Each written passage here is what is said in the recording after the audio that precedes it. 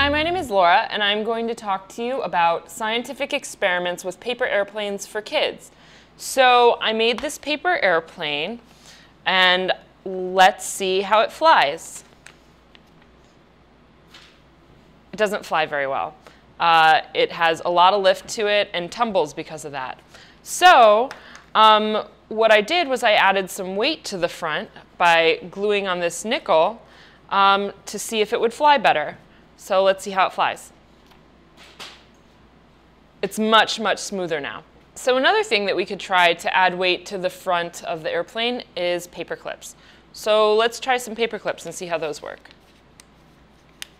We're going to put them right on the front at the crease of where, where our paper airplane is bent in the front. All right, so I put three on, and let's see how it flies now. That's actually even better than the nickel. So that would be a good experiment for kids with paper airplanes is how much weight counteracts the lift from the paper airplane itself, what, what helps the plane fly and what makes it worse. So see what kind of weights you can put on the front of the paper airplane or the back. Try whatever you want to see if it'll help your paper airplane fly. I'm Laura. Thanks for watching.